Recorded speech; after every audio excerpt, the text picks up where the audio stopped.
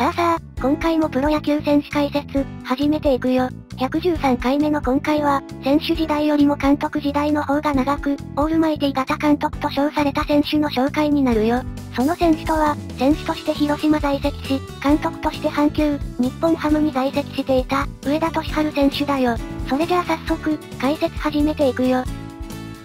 上田敏治、1937年1月18日生まれの80歳。徳島県天郡市区井町出身の元プロ野球選手だよ。引退後はコーチ、監督、解説者、評論家を務めているよ。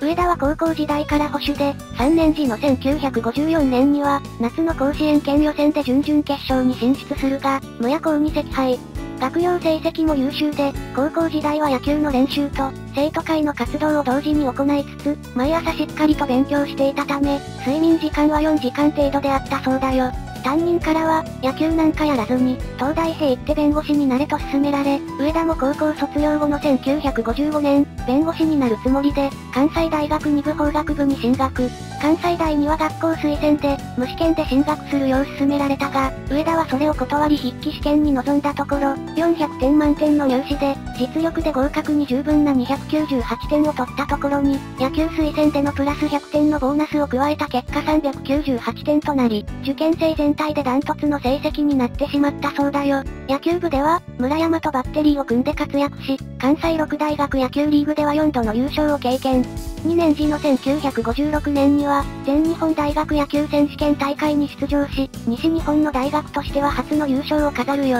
3年時の1957年、4年時の1958年の同大会では、全盛期の立大にいずれも準決勝で敗退。リーグ通算68試合に出場し、打率2割5分6厘、1本塁打の記録を残したよ。また学生時代から大変な勉強家で、読書量も豊富で学生時代にはナポレオンの著作を全て読破していた。プロ入りには消極的であったが、東洋工業からの出向社員として3、4年プレイし、その後は東洋工業で、との条件を出して熱心に口説いた広島カープの誘いに応じ、大学卒業後の1959年に入団。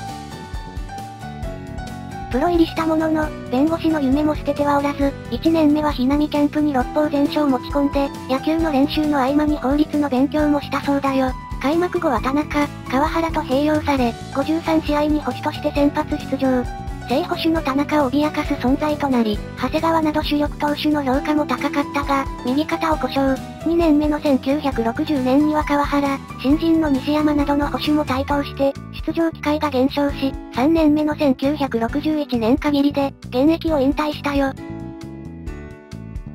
引退後は東洋工業への復帰を願い出たが、若い頃から野球理論に長けていた上田は、早くから指導者として期待されており、松田オーナーが、将来の指導者として入れたと本人に伝えられたよ。そして松田の意向により、1962年に専任コーチとしては、日本プロ野球史上最年少の25歳で、広島の2軍コーチに就任。1963年からは1軍バッテリーコーチとなり、その後は1軍打撃コーチとして、山本和義、絹笠、水谷、三村、山本浩二を育てたよ。門前、白石、長谷川、根本と4代の監督の下で、熱血コーチとして手腕を振るい、信念と情熱を持った指導で、選手間からの信頼も厚かったそうだよ。またひなみキャンプでは、その日の練習スケジュールを時間割単位で決め、スケジュール表は印刷して、報道関係者にも配ることにより、練習は無駄なくスムーズに進み、やがて各球団も、これを上田方式と呼ぶようになり参考にするようになったそうだよ。しかし保守出身の根本とは反りが合わず、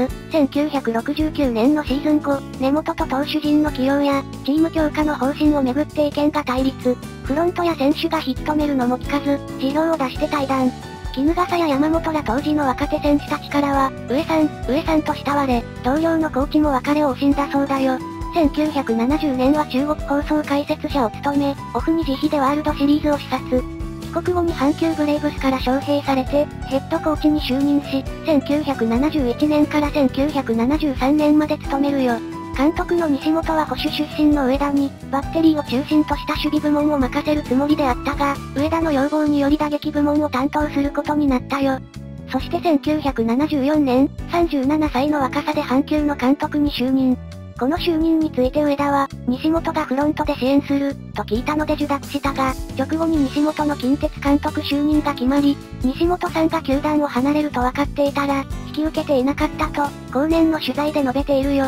監督就任1年目は69勝51敗で2位に終わるよ。監督就任2年目の1975年から、日本シリーズ3連覇を含むリーグ4連覇を果たし、阪急の黄金時代と言われるようになったよ。リーグ4連覇を達成した1978年には、日本シリーズへ進出した際、巨人の V9 以来史上2チーム目の、シリーズ4連覇を期待されながら、セリーグ初優勝を成し遂げたヤクルトと対戦。しかし主力投手の佐藤、山口を故障で書くなどチーム事情は苦しく、シリーズは第7戦にまで持ち越されたよ。さらに、第7戦の6回裏に、ヤクルトの大杉が放った打球を、先進が本塁だと判定したことに上田は激怒。判定の取り消しと先進の交代を求めて、審判団への抗議を始め、審判団は要望を受け入れなかったため、上田は守備についていたナインを、グラウンドから引き上げさせ抗議を継続。試合を見届けていた NPB コミッショナーが、阪急側のベンチへ出向いて、頭を下げながら抗議の打ち切りと、試合の再開を上田へ懇願する事態に至ったよ。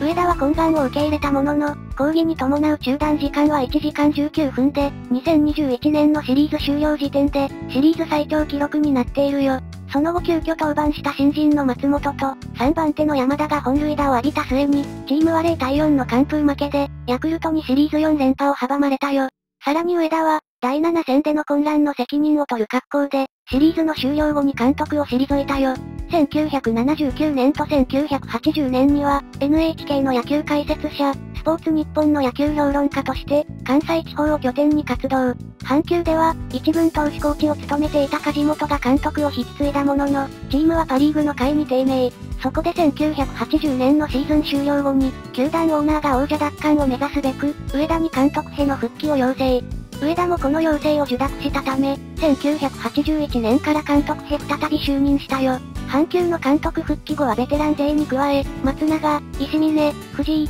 倉などの若手を見出し育成、さらに1983年にはブーマーウェルズが加入。ブーマーは1984年には、三冠王を獲得する大活躍を見せ、同年は5度目のリーグ優勝を果たしたよ。しかしリーグ優勝はこの年だけで、その後は毎年のように優勝争いに加わり、常に上位に食い込む結果を残したよ。この時、上田は阪急とオリエントリースによる、譲渡発表への同席を拒否し、監督続投も白紙としていたよ。10月23日に、阪急最後の試合終了後に、阪急ブレイブスを長い間、見守り続けていただきありがとうございました。話を聞いた時は、夢であってくれと思っていました。阪急からオリックスに変わっても、ブレイブスはファンの皆さんのものです。ユニフォームは変わっても、勇者魂は永遠に生き続けます。これからも応援してください、と語り、そして10月26日に、上田の監督続投が正式に決まったよ。オリックス時代には角田を迎えて、ブルーサンダー打線を作り上げ、1989年は前半戦を終えて、2位の近鉄に8.5ゲーム差をつけ、独走状態となっていたが、後半戦に入り打線がスランプに陥り混戦。近鉄に加え西武が復調し、三つどもへの優勝争いを繰り広げるも、最後は近鉄に優勝をさらわれてしまい2位に終わったよ。1990年も2年連続で2位となったが、この年限りで優退。1991年には編成部長に就任するが、球団の方針と意見が合わず、わずか1年で退団したよ。そして1995年から日本ハムの監督に就任。日本ハムからの話は1992年のオフにもあったそうで、2年越しでの就任であったよ。コーチ陣は多いし、加藤など阪急 OB が多く、前年の1994年は故障者が続出したこともあり、最下位候補であったが4位。1996年には、オリックスと優勝争いを繰り広げたが、9月に、家族の新興宗教入信トラブルを理由に休養。3年目の1997年は、獲得した落合が期待に反して活躍せず4位。1998年には、ビッグバン打線と呼ばれる強力打線で、8月まで首位を独走するも、後半に打線が低迷して失速し、西武に抜かれ2位に終わり優勝を逃したよ。1999年5月23日の近鉄戦では、オバンドーのセカンドゴロ併殺打における、一塁の判定をめぐって、累進に抗議。その際、累進に下手くそと暴言を吐き、野球人生唯一となる退場処分。さらに退場を宣告された直後、累進の後頭部に平手打ちをし、2試合の出場停止処分を受けるよ。この年は5位と低迷し、責任を取って監督を辞任。上田は監督として20年、半球を2度と日本ハム、いずれの球団も結果を出したことから、オールマイティ型監督と評されたよ。現役時代に高い実績を残した選手が、監督に就任するケースが多い日本プロ野球界において、選手としては無名という異例の経歴であり、選手と指揮官の才能は別物であることを証明した監督となったよ。日本ハムでも監督退任後は、フロント入りを要請されたが、上田は孤児。対談後の2000年から3テレビ解説者、デイリースポーツ評論家に復帰し、2003年には野球殿堂入りを果たすよ。そして2017年7月1日、午前2時55分、肺炎のため川崎市内の病院で死去。80歳だったよ。オリックス球団は正巨人に、最も早く選手に喪章をつけさせ、追悼セレモニーも行っているよ。そしてここからは、エピソードを紹介していくよ。第一期阪急監督時代のチームは、パリーグに阪急の敵なしと称されるほど強く、三原時代の西鉄や V9 時代の巨人と並んで、日本のプロ野球史上最も強かったチーム、として語り継がれているよ。古巣の広島と対戦した1975年の日本シリーズでは、スタッフに対して、第1、第2戦における広島投手陣の投球を、できる限りフィルムで撮影することを指示。撮影された膨大なフィルムを、コーチ陣と共に見ながら、第3戦までに広島投手の癖や、傾向等を徹底的に研究した結果、シリーズを制することができたそうだよ。ちなみに、上田と広島の監督の小場は同学年で、現役時代には広島でチームメイトになった後に、同じタイミングで他球団に移籍していたよ。1978年日本シリーズ第7戦における、審判団への抗議をめぐっては、抗議の対象になった大杉の打球の行方を、左翼手として最も近くで見ていた美濃だが、現役引退後に、先進がホームランと判定してから上田はすぐに、完全なファウルじゃないか、ボールを見失ったとはっきり言え、などと先進に詰め寄ったので押し問答になった、と10回。上田による長時間の抗議についても、選手はこの日のために春のキャンプから長いシーズンを戦ってきた。それをあんな判定で台無しにされるなんて、選手の誰もが監督と同じ気持ちだった。上田監督にはみんな感謝の気持ちでいっぱいだった、などと述べているよ。